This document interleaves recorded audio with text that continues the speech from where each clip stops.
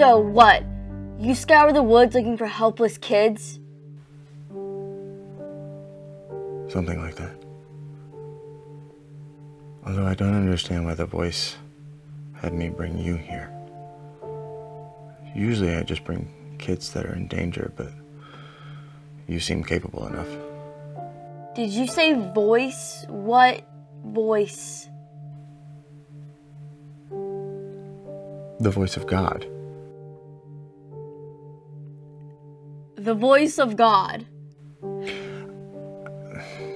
I understand how it must sound. How it sounds is you're a psychotic man who's hearing voices and kidnapping children. Not kidnapping them. Then what do you call it? You're drugging them, taking them, and bringing them here.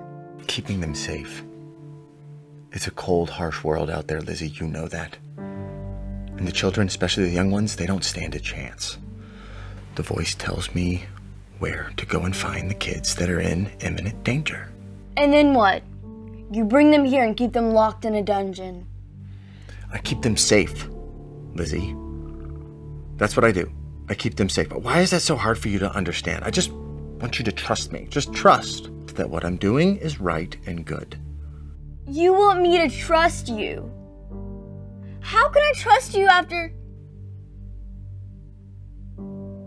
That reminds me, what happened last night?